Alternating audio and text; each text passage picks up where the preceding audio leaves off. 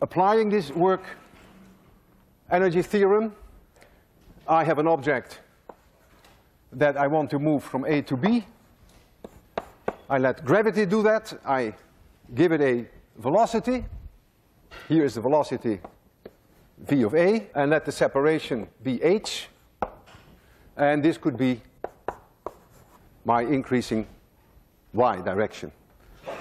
The object has a mass m, and so there is a force, gravitational force, which is mg. And if I want to give it a vector notation, it's mg y roof. This is my increasing value of y. When it reaches point B, it comes to a halt, and I'm going to ask you now, what is the value of h? We've done that in the past in a different way. Now we will do it purely based on the energy considerations. So, I can write down that the work that gravity is doing in going from A to B, that work is clearly negative. The force is in this direction and the motion is in this direction.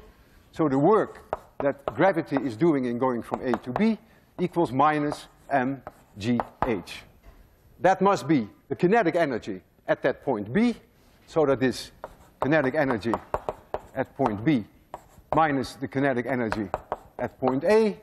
This is zero because it comes to a halt here, and so you find that one half m va squared equals mgh.